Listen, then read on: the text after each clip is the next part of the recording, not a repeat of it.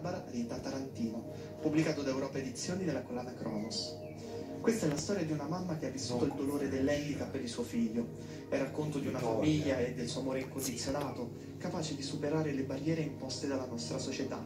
Questa è la testimonianza di un riscatto, del percorso che grazie alla volontà di persone straordinarie conduce dal silenzio fino ai suoni, alle voci del mondo, ma soprattutto una storia di grande umanità, che vuole riflettere su cosa rappresenti la normalità e cosa invece la presunta diversità, anche osservate dal punto di vista di un ragazzo che di entrambe ha saputo riflettere, sostenuto dall'affetto dei suoi genitori e dei suoi nonni.